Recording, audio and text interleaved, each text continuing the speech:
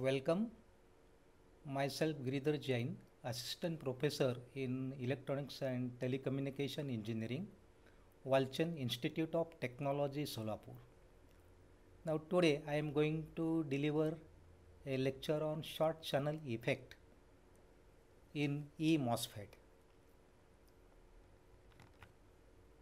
Now learning outcomes of this session are at the end of the session students will be able to describe a short channel effect in E-MOSFET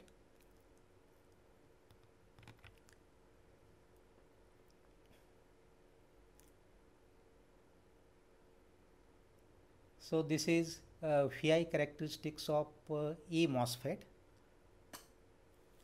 So the figure shown on the left hand side is the circuit used for simulation.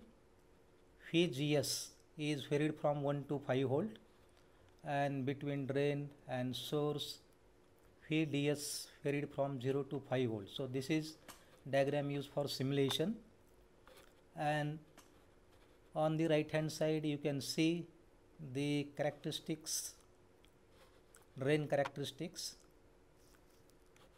IDS versus uh, VDS for different values of VGS VGS 1 2 3 4 and 5 and this dotted line is uh, boundary that is VGS minus VT is equal to VDS towards left hand side is the non-saturation or linear region. On the right hand side of the dotted line is saturation region. And for VGS less than or equal to VT that is your cutoff region. So that part already we have studied. Now this uh, let us understand this short uh, channel effect. Now if uh, length of channel is large then the short channel effect is negligible. But if length of channel is small then this effect is not negligible so here you can see the part of construction of uh, E channel MOSFET. So E MOSFET that is N channel so P substrate then two heavily doped n regions n plus n plus. One is right hand side is drain. This is source.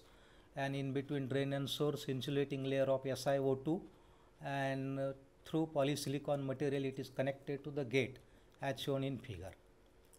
Now generally the substrate is connected to the source and we apply positive voltage between drain and source for n channel E MOSFET. Now if substrate is connected to the source then substrate goes to the ground and positive voltage will be applied between N plus drain, N type drain and the P type substrate. So here a PN junction is formed and as the N is connected to positive and the substrate P is connected to negative, a PN junction formed between uh, drain and substrate is a reverse bias. Okay?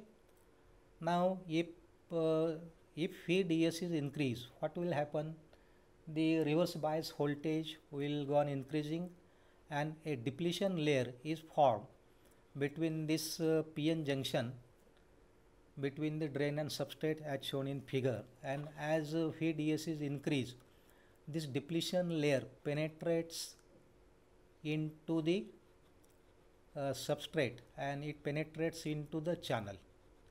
Thereby the effective length of channel is reduced as shown in figure and it is L effective okay? So this is a short channel effect. Means due to increase in feed uh, if feed DS is increased the depletion layer which is formed at the drain and substrate is penetrated into the channel and thereby reducing the effective length of channel for the conduction and IDS in this uh, saturation region is given by beta VGS minus VT bracket square by 2 and for saturation region the condition is Vgs minus phi t greater than 0 and less than Vds where beta is mu epsilon upon tox w by l where mu is mobility epsilon is permittivity of insulating layer. Tox is the thickness of oxide layer. W is width of channel. And l is length of channel. Okay? Now l effective is given by l effective is equal to l minus l short. L short is shown in the previous diagram. So this is L short, okay, and this L short is given by L short is equal to square root of 2 epsilon Si divided by Q into N A in the bracket Vds minus in the another bracket Vgs minus Vt bracket close bracket close. So this is L short so epsilon is the permittivity of SiO2, right? Permittivity of Si, then Q into Na in the bracket Vds voltage between drain and source, Vgs minus Vt, t, Vt is threshold voltage. And due to this uh, short channel effect, it is so according to short channel effect uh, what will happen due to increase in Vds uh, length of channel is reduced as the length of channel is reduced. So there is increase in uh, drain current. Okay? There is increase in drain current. And this is given by the equation IDS is equal to beta by 2 in the bracket VGS minus VT square into another bracket 1 plus uh, lambda into Vds. Original equation is beta by 2 in the bracket phi gs minus phi t square that is in saturation region. So due to short channel effect the second bracket 1 plus uh, lambda into Vds is added where lambda is the channel length modulation factor and its value is given by point not its value is 0.02 phi raised to minus 1 to 0.005 phi raised to minus 1 so this is a range of uh, lambda. Okay? So lambda is a short channel length uh, modulation factor. Now pause this video and uh, think on the following. Shall we obtain the value of lambda?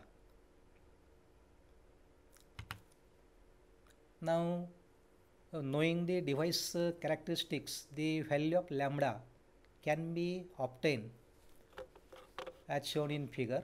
So, figure shows the VI characteristics for the n channel E MOSFET. So, ID versus VDS for different values of VGS.